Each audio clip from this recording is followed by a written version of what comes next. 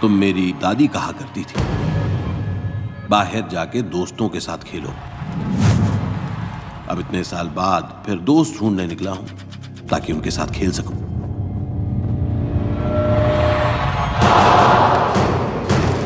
क्योंकि खेल तो दोस्तों के साथ ही खेले जा सकते हैं। इस खेल में और जंग में कोई ज़्यादा फ़र्क तो है नहीं। स्पोर्ट्स?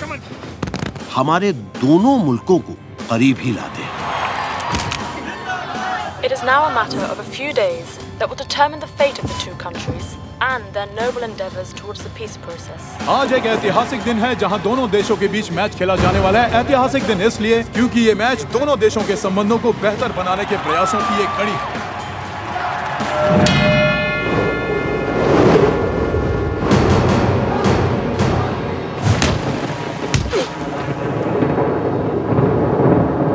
तुम्हें लगता है कि तुम लाहौर से जीत के जा सकते हो? तू अभी बिहार और जीत के बारे में ही सोच रहा है।